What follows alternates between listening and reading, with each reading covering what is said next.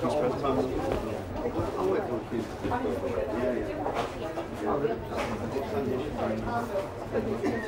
should do, definitely, yeah.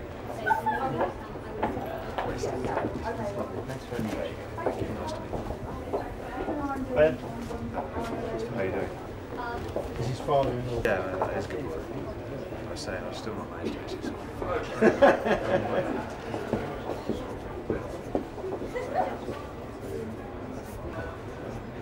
Thank you. Cheers, mate. All the best. Thank you. How does it feel? I mean, after the Rugby World Cup, obviously book out. Yeah. But has it sort of sunk in that you're stepping away from international? Um, it probably hasn't yet.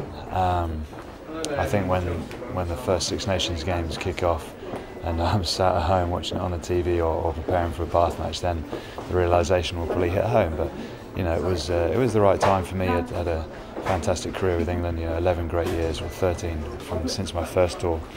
Um, and you know, it was, it's frustrating to to end with the disappointment of, of this World Cup, but unfortunately in sport there aren't always fairy tales. So you know, I look back on uh, on my international career and. Uh, I'm very proud of, of what we achieved and, and the teams and, and the players that I was very fortunate to play with. I mean, having experienced 2003, it must have made this last campaign a bit of a disappointment. Yeah, you know, I was lucky to be involved in three World Cups.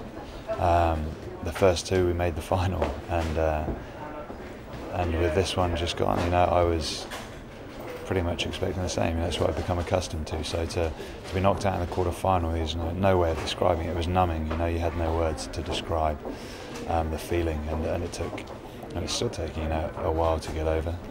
Um, it will be one of my eternal frustrations, but you know, I think the team will learn from it, and uh, and I think.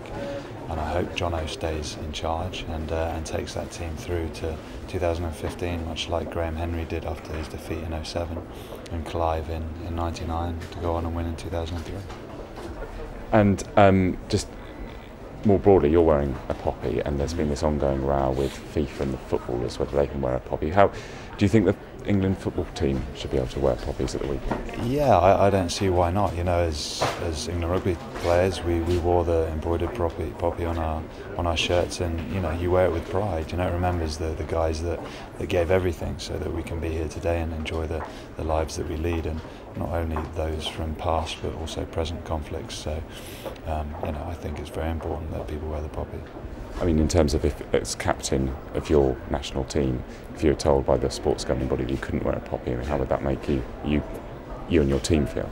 Yeah, I think I'd be pretty disappointed. Um, but you know, I'd uh, I'd be pushing to, to get that poppy on the shirt, and I, and I think that's the way it should be. I, you know, it's uh, it's not a political symbol; it's just a symbol of remembrance, and, and that's the way it should be. And just finally, so what's next for you? Obviously, focusing on the club career, but um, how are you going to fill this? This will, ma- I imagine will be a big void, yeah, in your Uh, it will be a huge void. Um, I'm just going to dedicate myself to the club. You know, it's nice to be able to concentrate on Bath, and uh, you know, we've got some big European games, Heineken Cup games coming up. Um, playing Glasgow, uh, then Montpellier next week. So uh, it's, it's an exciting time for the club that, that are hungry for silverware. And uh, with Ian McGeechan, Brad Davis, Martin Haag, all the coaches in charge, you know, we're looking forward to, to what's going to be a good couple of seasons, and, and for me, the, the last few seasons of, of my career potentially. perfect. Abigail.